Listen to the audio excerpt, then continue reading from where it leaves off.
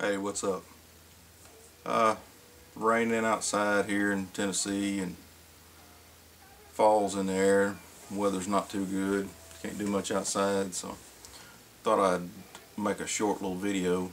Uh, I just happened to get on YouTube and notice that uh, I've got over 200 subscribers on my YouTube channel, which is not very many compared to a lot of the channels on YouTube, but I would have never thought mine would have reached that many subscribers because most of my videos are just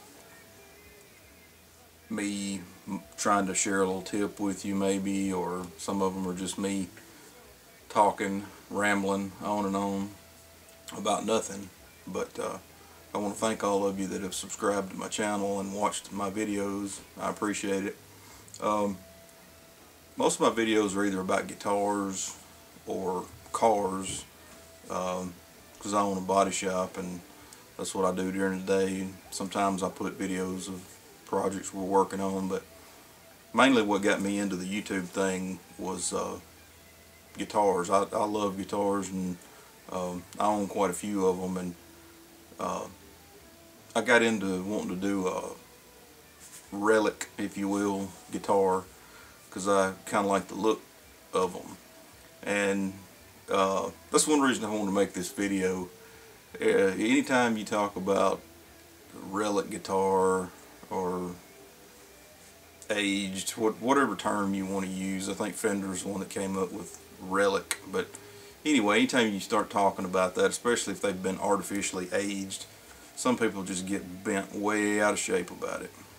And you know, that's cool. I mean, everybody's got their own opinion, but, uh, you know, I, I do this because I like the way they look, and, you know, I'm not to go spend four grand on a Fender custom shop relic when I can, I'm not to say I can do as good a work as they can, but I can make one look as beat up, you know, so but my point being, I just wanted to show a couple of things, and um, not all my guitars are relic, you know, uh, are aged or beat up or whatever you want to call them. Um, this guitar is probably the one that I had the most uh, videos on, and I went into a lot of detail about the way that I did it and some of the techniques that I used. It's a uh, Peavey USA reactor. It's a really good guitar and of course I went into all the pickup changes and all that stuff and you know for the money that I've got in it it plays great and you know for my taste I think it looks good.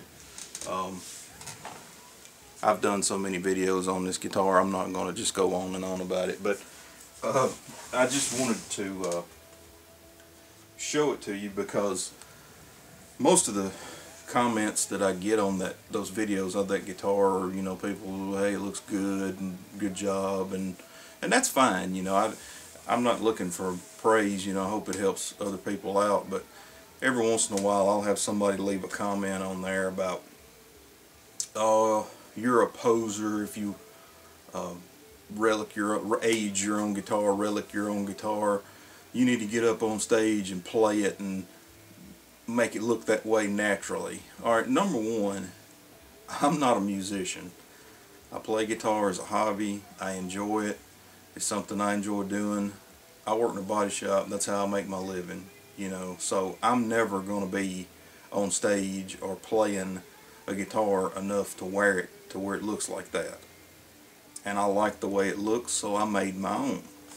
Just for instance, this is a 1993 Stratocaster. I bought this guitar brand new in 1993. Fender USA. The only thing I changed on it, I put a Seymour Duncan hot rail in the bridge and I put the Pearl pickguard on it. This guitar is one of my favorites. I love this guitar, but every time I get it out and play it, before I put it back in the case, I wipe it off. Now it's got some scratches, and the other pick guard had some pick guard rash on it. That's one reason I changed it and I thought this one looked better. But I'll never play this guitar enough to where it's going to look like that red one. That's just not going to happen. So I thought, hey, I have tools, I have some skills, I can make my own. And I'm very proud with what I came up with.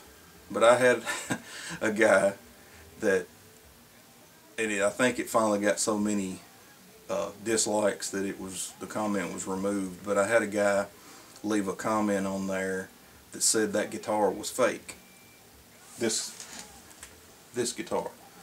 He said it was fake. Well, no shit, it's fake. So are the Fender, Fender Custom Shop ones. I mean, you know, it's obvious. That's it's a Peavey. You know, that's not something that you're naturally going to see on a Peavey. So, you know, I'm not trying to fool somebody or make something that's that it's not. I just wanted it to look a certain way, and I did that. Just like with this guitar here. This is a Peavey USA made reactor. And I think I might have called that guitar reactor earlier. It's a Predator. I'm not sure what I said. But this is a Peavey reactor. Alright. I stripped it down. I put the blue sparkle finish on it. Put the black pearl pick guard. Put these uh, humbucker rail type pickups. Put the switch for the coil tap. Little hula girl on the back. You know, kind of relicked it out a little bit, roughed it up a little bit. You know, I wasn't trying to go, I wasn't trying to copy anything on this. Yeah, this guitar is fake too, if you want to go that far and say that. I mean, it was just something that was up here. And I wanted a certain look, and rather than going out and paying big bucks to get it, I made it myself. You know, this is kind of to me, this is kind of my hot-rodded Buck Owens, you know, I don't know, my, I don't know what you would want to call it, but either way, you know, it was something I had up here, and I did it, you know, I had made it come out the way I wanted it. And I probably got total probably 500 bucks in this guitar, maybe six at the most. But I'll guarantee you I'm not going to walk into a music store and see another one hanging on the wall that looks like it. You know, and some of you may be saying, well, good, because it looks like a piece of crap. Well, that's your opinion. You know, to me, I think it looks great. I'm proud of it. I'm proud of the time that I spent doing it. I enjoyed doing it. And it came out the way that I wanted it to. Now here is another guitar. I bought this. This is a Fender Stevie Ray Vaughan Signature Series Stratocaster. It's got the gold hardware, left hand tremolo. I bought this guitar brand new in 1995.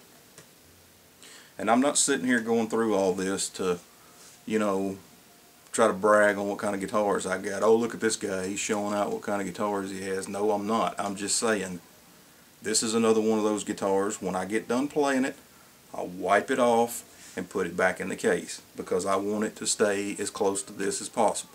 If it gets a little scratch on it or something, I'm not going to cry, but it's never going to look like those other two guitars.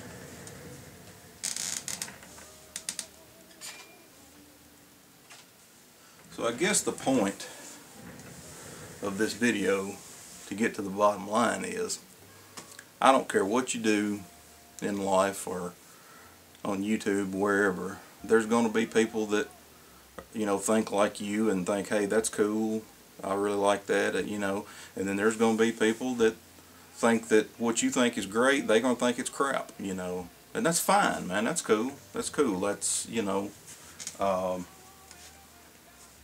just like everything else, man. If everybody liked the same thing, life would be pretty boring. I mean, you know, if everybody drove the same vehicle, if everybody um, played the same guitar, you know, whatever. But I guess the biggest thing I'm saying is I wanted to do two things with this video. I wanted to thank the people that watch my videos for watching them.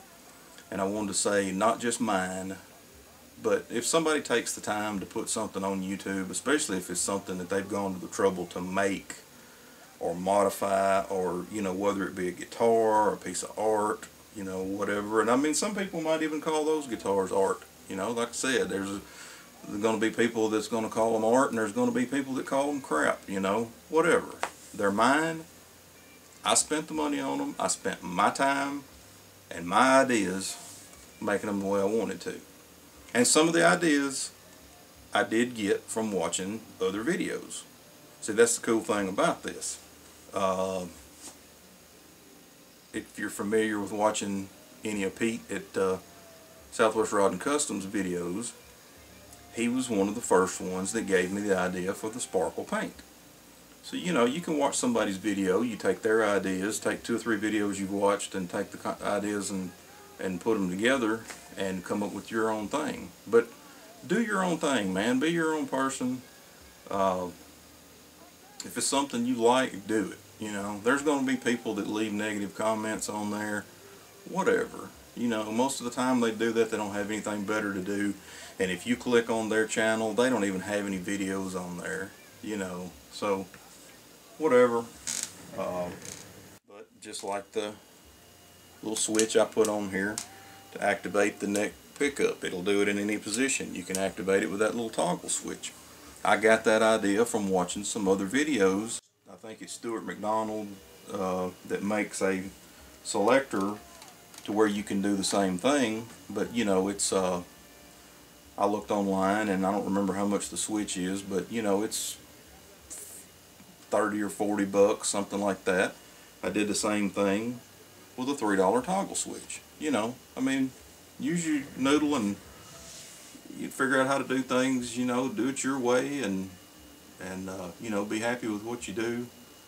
Uh, don't be afraid to get out there and get some tools out and work on some things and and uh, try to come up with your own thing man I mean I appreciate you guys watching and as far as the relic guitar thing that's going to be a debate that goes on till the end of time you know and as far as you people that leave the negative comments calling me a poser or anybody else a poser, I'm not a poser. I'm not in a band. I don't get up on stage. I don't try to get that guitar up there and say, oh, look at me, man. I got a cool relic guitar and I did all this, you know. The relic guitar thing was not cool until Stevie Ray Vaughan came along. And his guitar, the num no, his number one Strat was beat and battered and, you know, a lot of that had to do with the way he played. And I'm no Stevie Ray Vaughan. There'll never be another Stevie Ray Vaughan as far as I'm concerned. So, you know, I just love guitars, man. You know, do your own thing. Do it the way you want to do it and be happy with it. See you guys later.